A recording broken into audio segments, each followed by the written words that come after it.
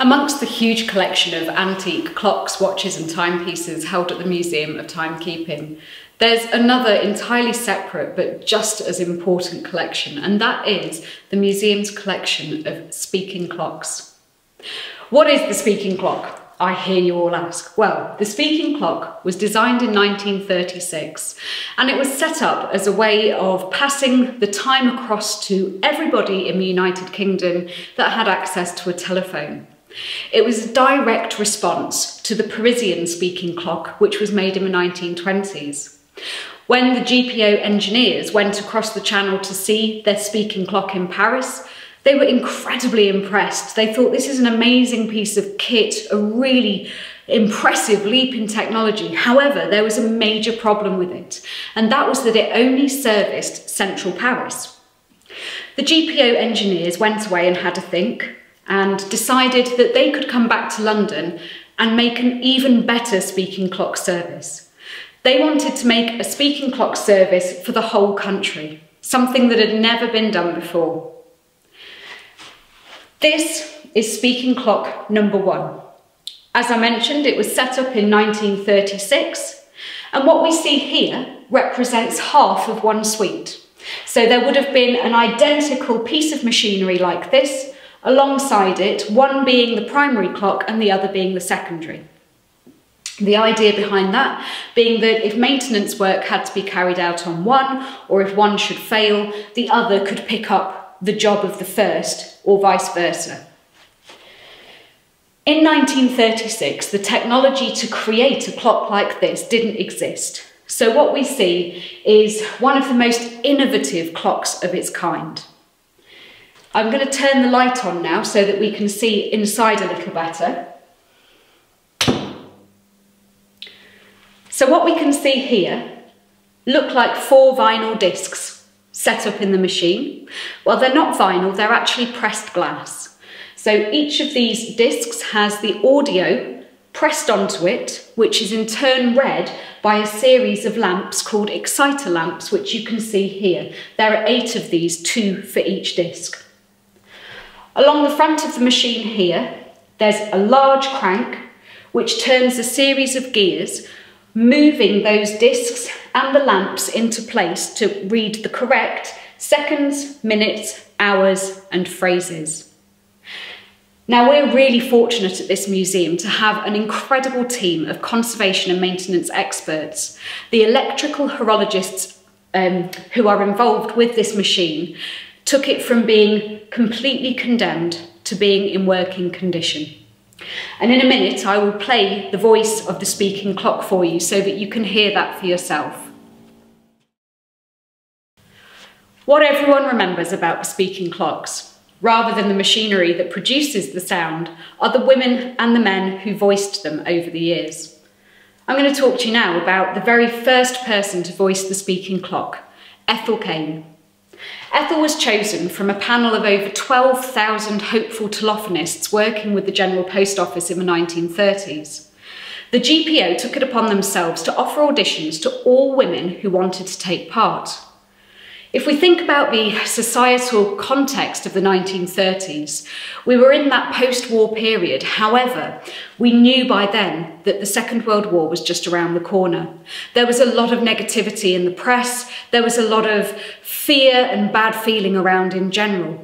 And what the competition to find the person to voice the speaking clock did was offer a light-hearted, fun thing for the media to grab hold of and run with, to distract from the doom and gloom that was in the everyday press. This meant that rather than just being a quick in-house competition between other telephonists, the search for the girl with the golden voice became a huge event.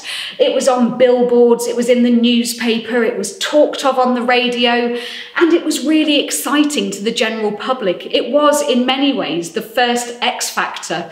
Um, and so, as a result, the girl with the golden voice was going to become rather famous.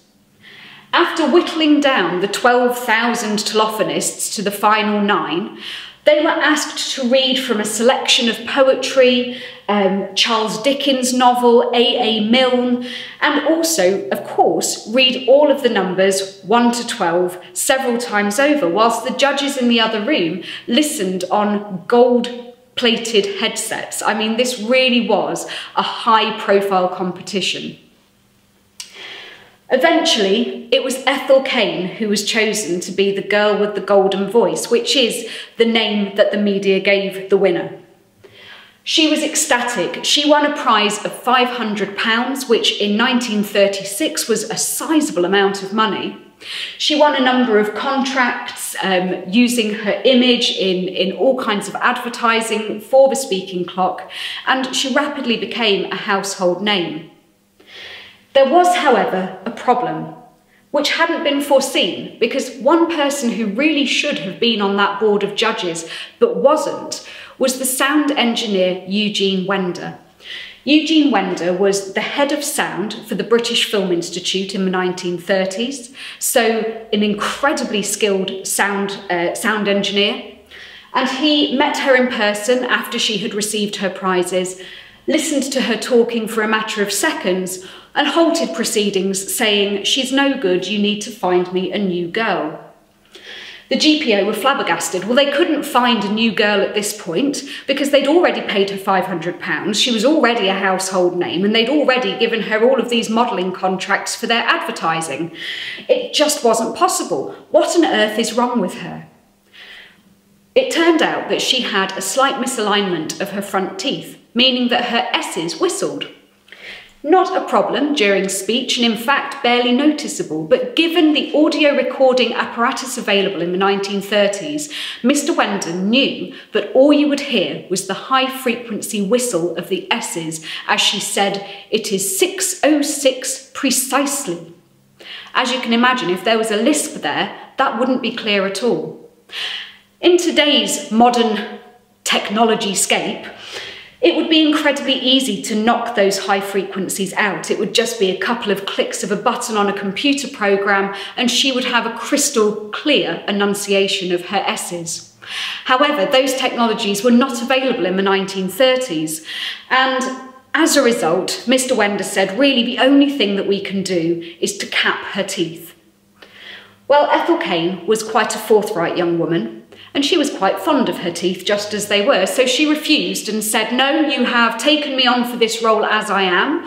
You should have realised that there was an issue before. I'm not having my teeth capped. What are you going to do about it? The GPO, as such companies are wont to do, went back to Mr. Wender and somehow made it all out to be his fault that the girl wasn't right for the job. And he spent the next 12 months after recording painting by hand every high frequency whistle off the four glass discs. It was the first time that this kind of audio editing had ever been done and paved the way for audio editing suites of the future. Now, when Jane Cain, as she was later known, finished her contract with, uh, with the GPO, she moved to Hollywood, where she enjoyed quite a successful career as bit part English woman in a number of American films. And this machine ran from 1936 all the way through to 1963. As I said earlier, this is one half of a twin suite, in the mid 1940s, there was a second double suite commissioned, and that was because during the Second World War, it was thought that if London, where these were housed, was bombed, it was imperative that this service kept running. So, to protect it from bombing, they placed the second double suite at Liverpool Docks. Now, for anyone who knows their history, Liverpool Docks was probably the second most bombed place in the country, but I'm pleased to report that both double suites survived the Second World War. The twin of this suite is now housed in Edinburgh Museum, but is not operational. And sadly, we don't know what happened to the two Liverpool suites at all. They are probably decommissioned and have been turned over to, to dereliction at some point. I'm going to put on speaking clock number one now so that we can hear it for ourselves. And you will note that it's not ever so clear and I'll explain why that isn't clear once I've turned it on. and 60 seconds. At the third stroke, it will be 11, 15 and 60 seconds. At the third stroke, it will be 11, 16 and 50 seconds.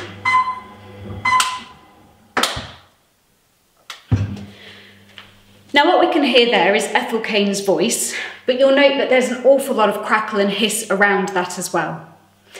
This is because in the 1930s, when this machine was commissioned, the light bulbs which read the glass discs were especially calibrated for the job. They have to be exactly the right strength, the right luminosity, even the right colour of light. And unfortunately, the calibrated bulbs for this machine are no longer available. Several years ago, the museum did find a supplier in China who were willing to set up a production line for these, but only if we bought a box of 20,000. Given that in the last 81 years we've used 16, it didn't really seem very cost effective. So although the voice is quite unclear, at least we can hear her and, uh, and proudly say that this machine is running as it should be. Speaking clock number one ran for an impressive 27 years.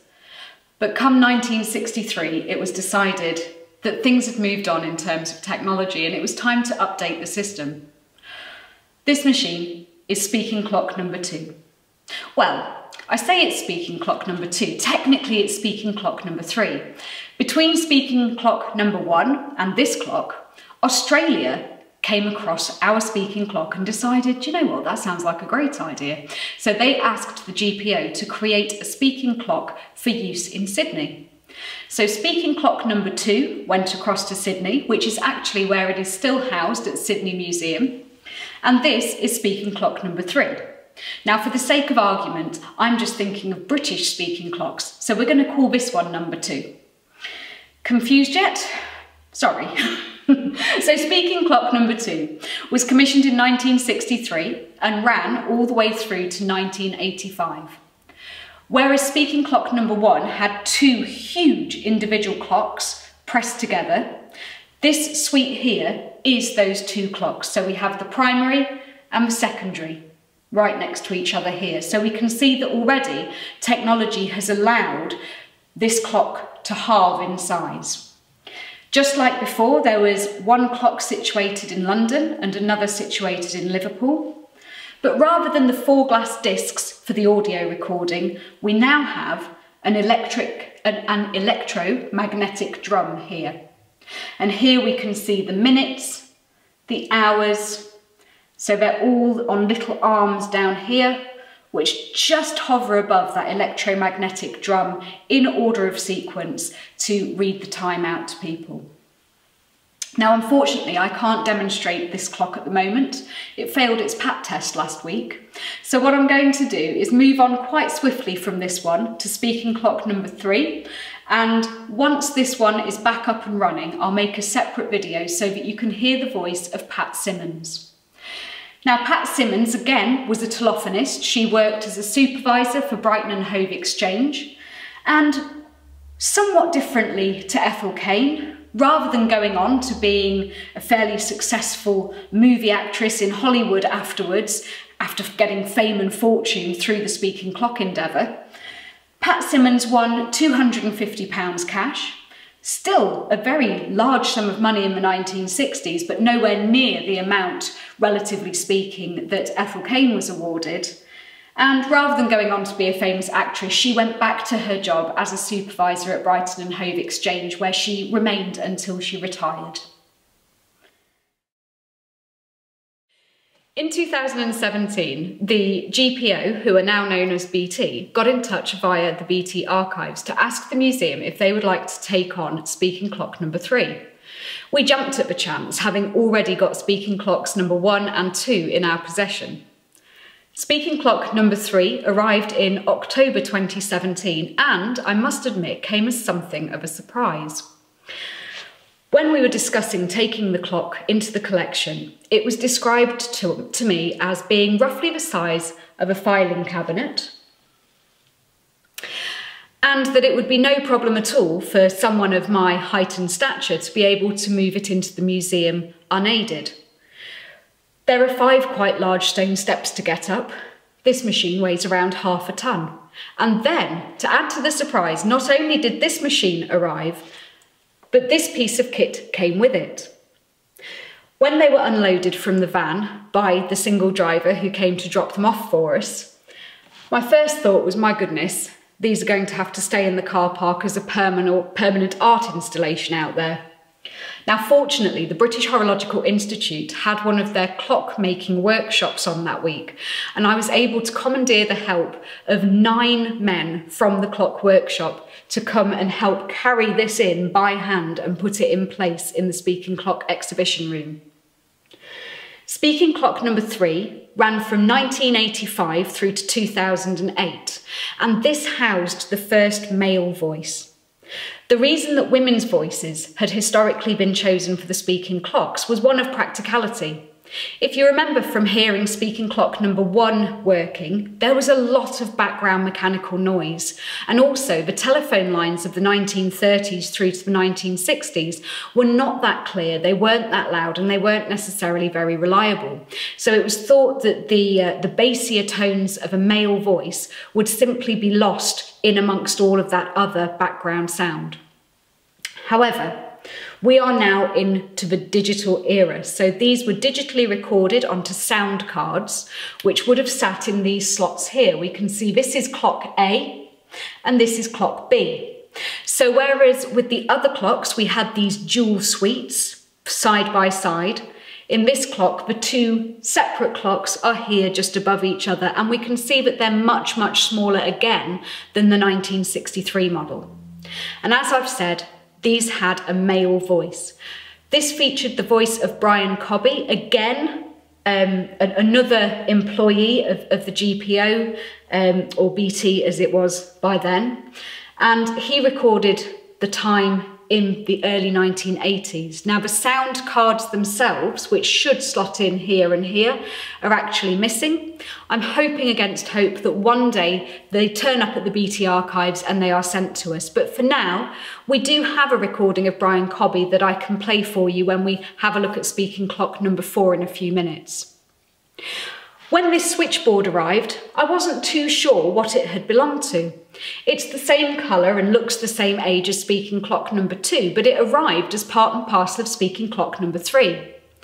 When I investigated a bit further, it came to light that this switchboard was actually the main switchboard for Speaking Clock 2 and began its life in 1963 before finally being decommissioned in 2008.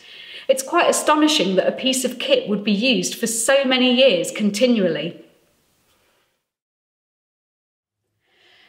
Last in the story is Speaking Clock number four.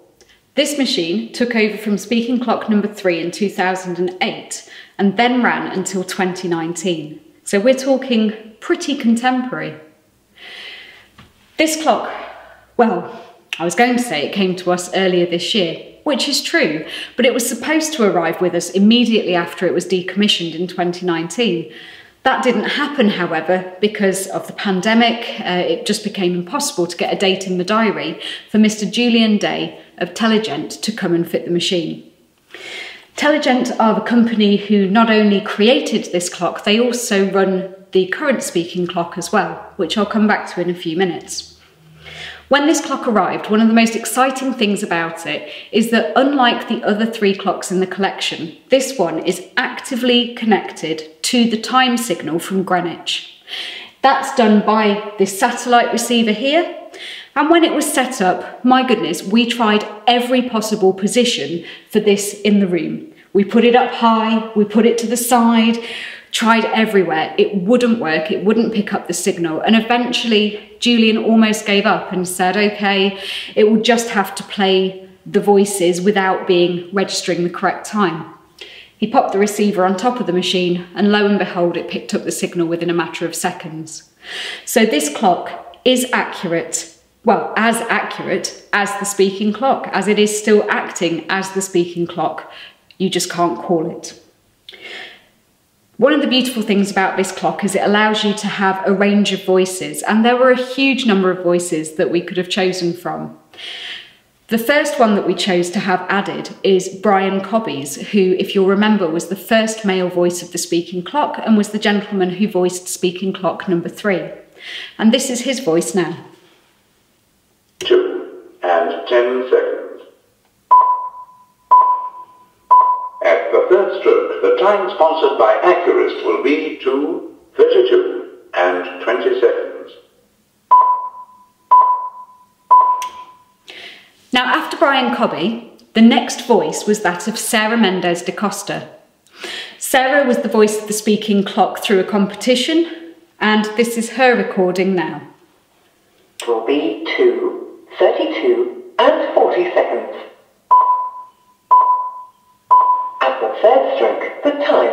Sponsored by Accurist will be 2, 32 and 50 seconds. Now, after the time sponsored by Accurist became inaccurate as that contract came to an end, the speaking clock was taken up as a charitable fundraiser. It's still going today, and you can ring 123. I do warn you, it's 50 pence per minute, so don't make a habit of it. But you can ring the speaking clock, and ordinarily, the speaking clock is now celebrating one charity or another, most commonly sport relief, comic relief, and children in need. And they have a variety of television personalities, characters, and celebrities to do the voice of the speaking clock. Amongst them are Lenny Henry, The time for comic relief will be 2.33 and 40 seconds. At the third squeak, the time for comic relief will be 2.33 and 50 seconds. We also have stars like David Walliams, the actor and children's author, Be 2.34 precisely. Splish, splash, splosh. At the splosh, the time for sport relief will be 2.34 and 10 seconds. Splish, splash, splosh. Now, in amongst all of these celebrities, we also have the standard voice of the speaking clock as well. And after Sarah Mendes da Costa um, came to the end of her contract, it was the voice of Alan Steadman who became the regular voice of the speaking clock. Not only is Alan another man and the only second man to ever fulfill this role, he is also a Scotsman and it is the first voice with a regional accent to be featured on the speaking clock as a permanent voice. And this is Alan Steadman. BT will be 2.34 and 50 seconds. At the third stroke, the time from BT will be 2.35 precisely. Now, we also have some fun characters as well. So, any of you that have small children that like Disney's Tinkerbell, I know I certainly have a couple that did, will be familiar with this voice. Hi, it's Tinkerbell. At the third bell, the time will be 2, 35, and 20 seconds. Hi, it's Tinkerbell. She's very peppy. But finally, my favourite, I think, is the voice of the Daleks from Doctor Who. Now, the voice of the Daleks from Doctor Who were recorded for the speaking clock, but it was deemed that it was too frightening for small children for comic relief or for children in need to have these, uh, the, you know, these um, imaginary monsters telling you the time. So they tried to make it sound a little bit more accessible, a bit more fun by getting them to say the Daleks sponsor children in need. However, it was still deemed to be too frightening for, uh, for the general public. So I suppose in a really strange way, we can claim to be the only place in the world that the Daleks from Doctor Who can tell you the accurate time. And, uh, and here that is now.